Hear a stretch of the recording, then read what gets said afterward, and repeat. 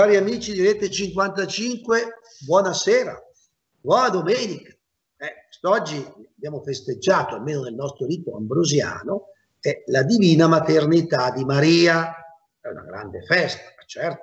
Io spero che i miei confratelli vi hanno spiegato ampiamente anche il valore della Madonna proprio come colei che portando in grembo Gesù consegna il figlio all'umanità. E Gesù è colui che è vero uomo e vero Dio, uomo pienamente, anche perché generato attraverso lo Spirito Santo, ma nel grembo di una donna, ma vero Dio perché ci, eh, con noi, con la nostra umanità e con la divinità, eleva noi stessi verso quello che chiamiamo il cammino della salvezza.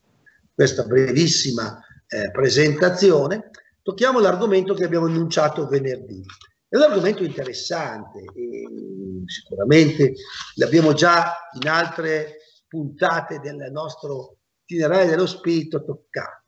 Questa linea guida che è uscita e che questo padre Francesco Bamonte ha presentato. L'esorcista non è un superuomo o un mago, ma è una persona normale, un sacerdote, che necessita anche lui di formazione. Non dobbiamo confondere l'esorcismo con la spettacolarità di quello che tante volte la produzione filmica ha mostrato. L'esorcismo è un servizio che la Chiesa da sempre fedele all'insegnamento evangelico ha saputo offrire e diremmo qualificare per aiutare quelle persone, non sempre, non sempre si che siano tutti cristiani, perché vengono a sottoporsi agli esorcismi, hanno una necessità particolare di essere liberati da spiriti maligni. Questo è in sintesi. Ora, è chiaro, occorre una preparazione specifica per esercitare questo impegnativo compito. Non tutti i sacerdoti possono esercitare eh, questo che in volta veniva chiamato più l'esorcistato, che veniva anche conferito nel, nel cammino di preparazione sacerdotale. Poi per essere esorcisti ufficiali occorre una formazione e una nomina ufficiale da parte del vescovo, dell'ordinario dell'uomo. Anche in quelle diocesi dove c'è un solo esorcista, ti potrebbe bastare magari quelle piccole, si vuole comunque consigliare sempre più di uno, per tanti motivi, ma per un motivo particolare è proprio il confronto. La formazione che deve essere vissuta come un cammino permanente di crescita prima di tutto della persona dell'esorcista, del sacerdote, chiamato a un compito in cui deve avere tre qualità chiarissime. Una, deve essere un uomo di fede, provato, nel senso che prega, che vive intensamente la propria vita interiore. È un uomo forte perché la forza viene dall'amore di Cristo in lui, dallo spirito che lo guida. Deve essere un uomo che cammina con la Chiesa e quindi ne dispensa quei, quel bene prezioso che è eh, la potenza dello spirito capace di eh, sconfiggere il male perché Gesù ha vinto il male morendo in croce per noi no? e soprattutto deve essere un uomo in una formazione permanente anche sotto un profilo di quelle scienze umane atte ad aiutare a capire, diremmo, a distinguere, a discernere tutto quello che fa parte della possessione demoniaca o presunta tale. Quindi è un indispensabile servizio. E deve avere dei confratelli vicini che lo aiutano, perché è un servizio nel quale condividendolo ci si sostiene a vicenda, nel, proprio nel condividere quella che possiamo chiamare una stessa casistica. Qualche libro l'avevo letto anch'io su queste casistiche anche molto ampie che si possono riscontrare. Certo, eh, una guida ufficiale eh, ci voleva, era, era, molto utile, proprio perché è una guida che viene fatta dall'Associazione Internazionale degli Esorcisti, che ha dato proprio un vademecum per questo, per farvi capire, cari telespettatori, come su questi argomenti non si può improvvisare e non si può neanche spettacolarizzare quello che non è uno spettacolo per niente, tant'è vero che gli esorcismi vengono sempre consigliati in luoghi appartati, spesso piccole cappelle, luoghi dove con la giusta tranquillità e anche la concentrazione e il raccoglimento avvengono delle preghiere particolari. Possono provocare anche delle reazioni, a volte un poco scomposte, da parte delle persone che subiscono la possessione demoniaca o comunque presunta tale, perché a volte ci sono anche delle linee di interpretazione legate a delle turbe che possono essere di natura psichiatrica e qui si affiancano a volte anche delle equip che supportano sotto questo punto di vista, non per spaventarla, per capire, come dicevamo, che al centro è la misericordia di Dio, è dispensare la potenza che Gesù ha insegnato a noi, che ha trasmesso agli apostoli, che ha trasmesso alla Chiesa, di scacciare anche i demoni. E ne parla più volte, i Vangeli sono pieni di questi racconti, ma anche gli stessi apostoli, se leggiamo gli atti degli apostoli, sia negli atti di Pietro che di Paolo in particolare, ci sono momenti in cui cacciano dei demoni. Quindi è un indispensabile servizio.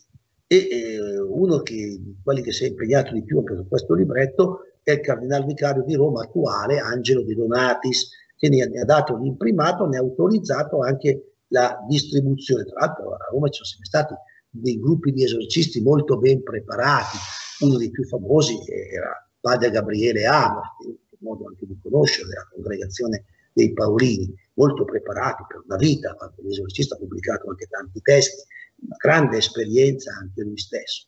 Poi attingeva da un maestro che nella Chiesa è visto come uno dei più grandi esorcisti, San Benedetto. La famosa croce di San Benedetto è una croce che utilizzata con, con eh, la scritta è proprio un esorcismo, perché il santo era famoso, pur non essendo sacerdote, come si dice, capace di scacciare i demoni, perché era un uomo santo. Più la santità di vita di una persona è elevata, più è in grado anche di vincere questi spiriti maligni e quindi la formazione degli esorcisti che sono uomini di Dio per sconfiggere il male. E allora, per chi ci ascolta, come bisogna vivere nella nostra vita per scongiurare eventuali pericoli di possessione? Beh, è molto semplice. Eh, e vi faccio anch'io quello che mi diceva qualche volta padre Amo, no? l'ho conosciuto abbastanza bene.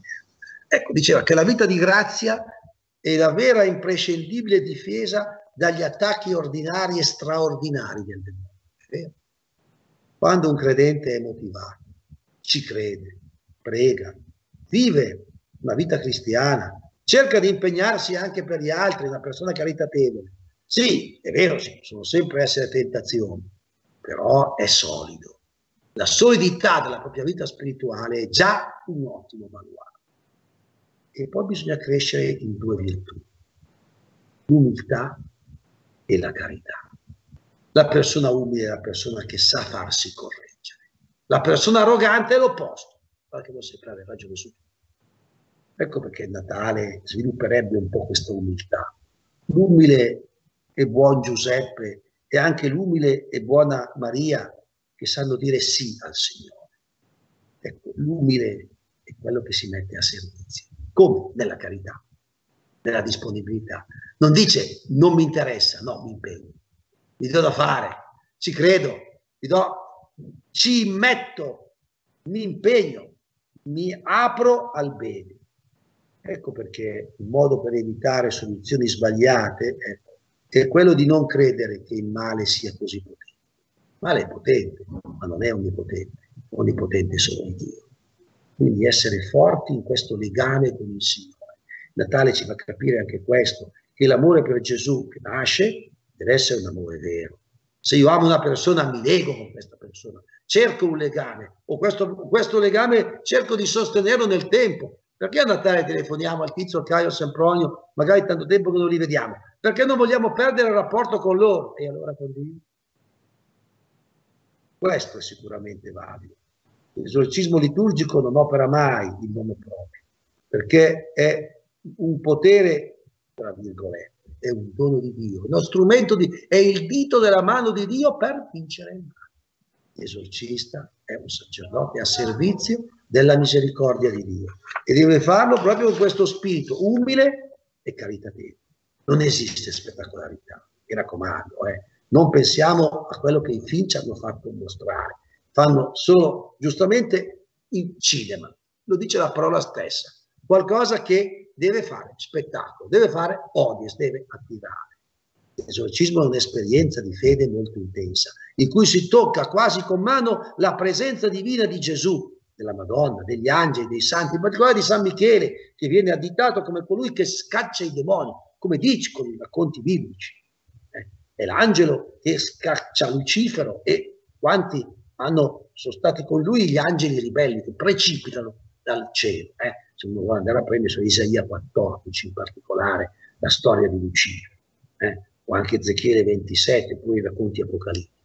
E c'è proprio un clima di serenità, di gioia intensa, che non hanno niente a che vedere con quanto il cinema e la tv ci, ci mostrano. Uno si sente liberato dal male, scopre una gioia, si sente ancora la presenza di Dio dentro di sé. Quindi eh, deve esserci dentro di noi grande fiducia nella provvidenza. Ecco perché abbiamo affrontato questo argomento, per dire che il Natale è festa di speranza, è la vittoria del bene contro qualsiasi male, ma il male peggiore è la nostra mancanza di fede. Mi raccomando, eh, ottimisti e speranzosi. Il Signore ci accompagna, umiltà, carità, vita di grazia, cioè rimanere profondamente uniti a Cristo. Grazie di questo ascolto, buona settimana di preparazione al Natale, ormai vicinissimo. Buona serata a tutti.